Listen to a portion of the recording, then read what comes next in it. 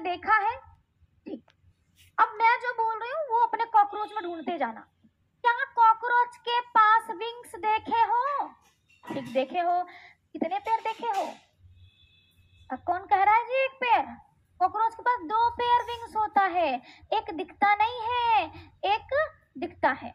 कब नहीं दिखता है? तो जब कॉकरोच बैठा होता है। तो देख रहे हो, जब ये साइड देखो जब बैठा हुआ है तो ये जो विंग्स है, ये नीचे वाले विंग्स को ढक लेता है।